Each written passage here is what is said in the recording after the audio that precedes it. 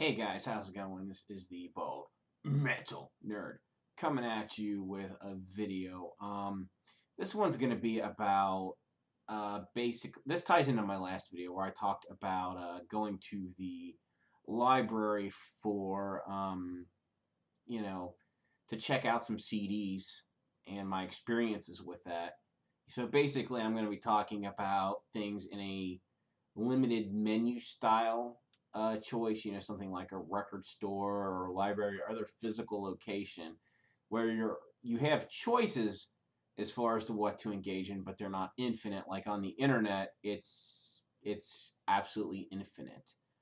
Um, there was actually there have been studies on this. There was something called there was a book written called The Paradox of Choice, basically that having some choices is great. It's essential but too much choice paralyzes us. Um, and the same can be said, you know, about music consumption as well. Literally, no one has time to listen to all of the music that's coming out. Nobody does. There's more music produced than what any living human being can keep up with. It's just, it's even if you did nothing but listen to music 24 7, you still wouldn't hear it all. It would be physically impossible to do it. So, with the internet, now obviously all of that music is available to you all the time. And sometimes it can be extremely hard to choose out of that great sea of choice. I mean, it's an infinite sea and um, you know picking something out of there can be really a daunting task if you don't really know what you're looking for. Uh, the same can be said you know of amazon.com right as like a record store. They have literally everything you know uh, which is great and terrible at the same time. So it's one of those uh, you know limited versus uh, catered experiences uh, if you go into a physical location like a record store or, or library or where else ever else you can hear music, you can look at choices, um, you know, and see, see things that might interest you. It, it's a much smaller scope or much smaller net. And basically, people in general are happy if they have some choice like I'm always happy to go into a record store or whatever and look around at their things they have on offer, uh, the types of music that I like, see what they got.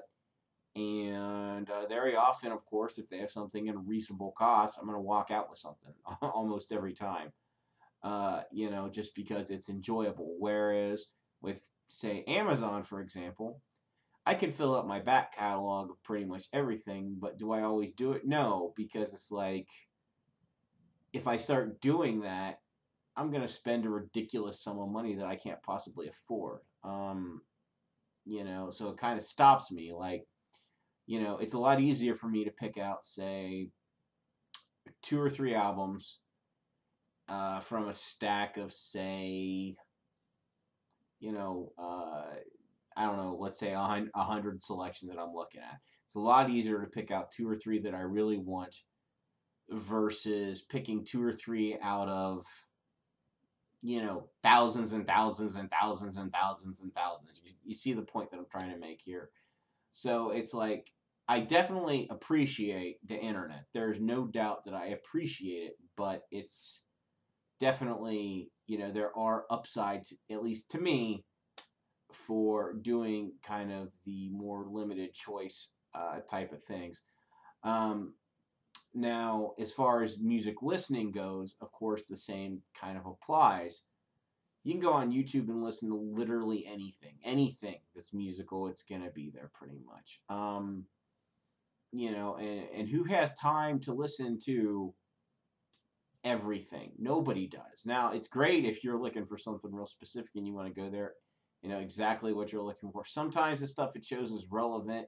Sometimes it's not. You know, the stuff is related. Sometimes it is. Sometimes it isn't. So it's like again, searching through a needle, a needle through a haystack. It's part of the joy of discovery. I do like both approach. You know, versus I guess having a music collection, you know, and picking something out. It's a lot easier to find exactly something that maybe matches your mood in your music collection than on YouTube. Just saying, you know, this is just really which do you uh, you know both have I guess both really have their place in the world. They're both worthwhile. I'm glad they're both around. I, I certainly wouldn't want to go back to the old way where all we had was really limited choices and you know uh, you couldn't find a lot of stuff. I wouldn't really want to go back to the old way. I definitely appreciate the internet. I definitely appreciate what it's brought, but there is something to be said for some limited choice. Uh, and if there's a way we could replicate that on the internet, that would be amazing. Anyway, um, thanks for listening to this. If you guys did enjoy this, as always, please thumbs up, share, subscribe, all that fun stuff. Thanks for watching. I'll catch you guys next time.